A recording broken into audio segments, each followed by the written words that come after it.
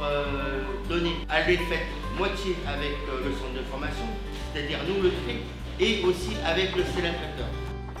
C'est une participation.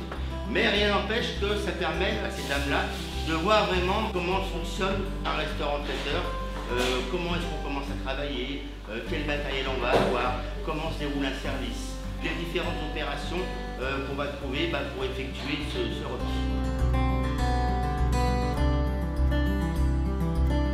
On a pris un peu de temps pour dresser tout ça. Hein, on a tout dressé, on a mis ça au flat.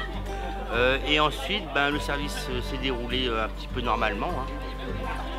Bah, C'est-à-dire l'accueil du client, expliquer bah, qu'est-ce qu'on propose hein, dans le wrap, qu'est-ce qu'il y a dans le wrap, dans cette verrine, qu'est-ce qu'on a mis dans cette verrine.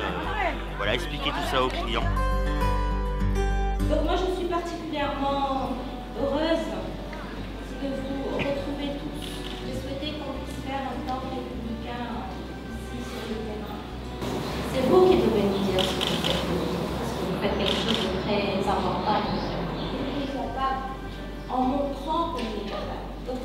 Moi je vous invite à dire la fierté que vous avez d'avoir fait tout ce parcours et nous nous sommes en tout cas très fiers de vous. Ça m'a fait très très très plaisir de parler avec Madame la ministre et la servir et la montrer le- le- la création qu'on a faite.